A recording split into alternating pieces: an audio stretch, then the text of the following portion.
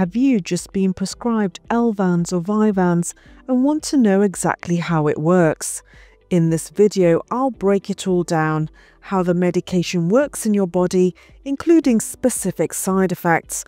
I'll also answer some of the most common questions I get asked in my clinic, like can you drive while taking it? Can you drink alcohol? What's the Elvanse Vyvanse crash? And will it show up on a drug test? Stay tuned for everything you need to know. So what exactly is lisdexamfetamine? Elvanse is the brand name in the UK and in the US it's called Vyvanse. It's used to treat attention deficit hyperactivity disorder, commonly known as ADHD. It comes in a capsule form taken once a day. So how do ADHD medications work? Experts don't completely understand how ADHD medications work. We know they affect certain chemical messengers in the brain, particularly dopamine and noradrenaline. So how does Elvanse Vyvanse work in the body? Lisdexamfetamine is an inactive prodrug contained in the capsule. When it's taken orally and absorbed from the gut into the bloodstream, it's converted into dexamphetamine or D-amphetamine, as seen in these diagrams, which is responsible for its activity. So what's a prodrug? A prodrug is a medication that isn't active on its own. Instead, your body transforms it into one or more active substances. For example, lisdexamfetamine the prodrug is broken down into L-lysine and D-amphetamine, which actually do the work in your body.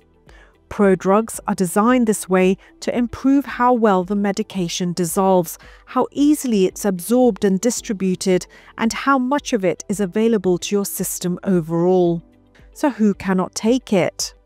Before you start taking your medication, it's important that your doctor knows if you are pregnant trying for a baby or breastfeeding. If you have ever had a problem with drug interactions or alcohol misuse. If you have a heart problem or any problems with blood vessels. If you have ever had any uncontrollable movement such as a nervous tic or a condition called Tourette's syndrome. If you have any liver or kidney problems. If you have an overactive thyroid gland. If you have epilepsy, have high blood pressure, or have an eye problem called glaucoma. If you have a mental health problem, for example psychosis or bipolar disorder. If you have a rare inherited blood condition called porphyria. If you are taking any other medicines, this includes any medicines which are available to buy without a prescription, as well as herbal and complementary medicines. Or if you have ever had an allergic reaction to a medicine. So what's the dose? The starting dose is usually 20 to 30 milligrams daily, taken in the morning. This dose may be increased over the following few weeks, which will mean taking a different strength of capsule. The maximum dosage is 70 milligrams a day. It's not important whether it's taken before or after food, but it's better to take it with food as the onset can be quite harsh without food for some people. But try to remember to take each dose at the same time every morning. If a dose is forgotten, don't take it later in the day as this can cause sleeping problems. Skip the dose for that day, but remember to take a dose the next day as normal and don't take two doses together to make up for a missed dose. The capsules can be swallowed whole or you can open them up and stir the contents in a glass of water or orange juice or into soft food such as yogurt. If you do this, the mixture must be stirred well until the medicine is dissolved and then swallowed straight away. So how is the medication monitored and titrated? This is decided with your doctor at the start to find the most suitable dose for you that is most effective and best tolerated from the side effects. You will meet with your prescribing clinician every two to three weeks to review your progress on a particular dose of the medication and decide whether to continue or increase the dose. During the medication titration, you will be required to check your weight, your heart rate or pulse, and blood pressure before starting the medication and then at least weekly during the titration process. Monitor for tics, which are fast, repetitive muscle movements that result in the sudden and difficult to control body jolts or sounds. Monitor for any sexual dysfunction. Check if there are any new seizures or worsening of an existing seizure. If there are any changes in sleep pattern, for example, if you're keeping a sleep diary. And if there are any changes in behavioral responses to the medication. Once you are stable on your medication, you will be reviewed every six months or sooner if you have any issues or concerns. So, what are the common side effects?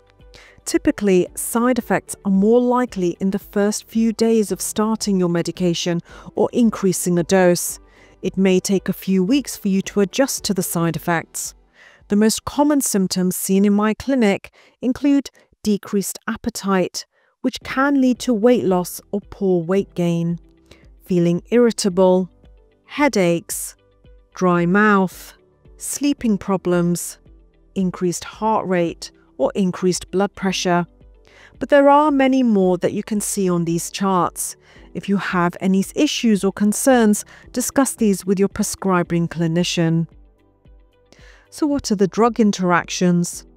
There are medications that can affect the way ADHD medication works and vice versa. This table shows the possible interactions as recorded by the manufacturer of Elvanse, Takeda. It is important that you disclose all the medications that you take to your prescribing clinician who can check for any potential drug to drug interactions and discuss them with you before prescribing your ADHD medication. So let's now answer some frequently asked questions in my clinic. Can I drive whilst taking Elvanse? If you are a driver, please be aware that lisdexamfetamine is likely to affect your reactions and ability to drive. It is an offence to drive while your reactions are impaired. Even if your driving ability is not impaired, should you drive, you are advised to carry with you some evidence that the medicine has been prescribed for you a repeat prescription form or a patient information leaflet from the pack is generally considered suitable. Can I drink alcohol? You should not drink alcohol whilst being treated with lisdexamfetamine. One reason is because Elvanse and alcohol work in opposite ways. Elvanse activates your central nervous system while alcohol slows it down. The central nervous system helps regulate thinking, actions, breathing, and more. This means that Elvanse and alcohol could conceal each other's effects. Do I need to take it every day? Now, some people do take breaks from the medication for one or two days, once a week, or a month. It's always best to agree this with your doctor before you take any breaks. And what's the Elvanse crash? An Elvanse or Vyvanse crash describes symptoms that can occur when your medication is not taken as prescribed and the medication starts to wear off. Also known as the Elvanse or Vyvanse come down, this crash includes feelings of anxiety, irritability, tiredness, mood swings, and a return of ADHD symptoms such as trouble concentrating. The active metabolite in the medication stays in your system for about two to three days after a dose.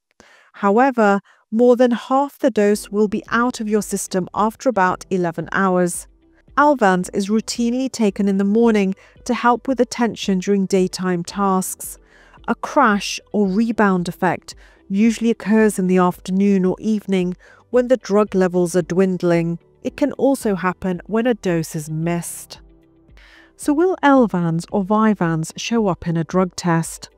Once you take your medication, the average time it takes the active drug to leave the body and be undetectable in a urine drug test is roughly two and a half days, which is 60 hours.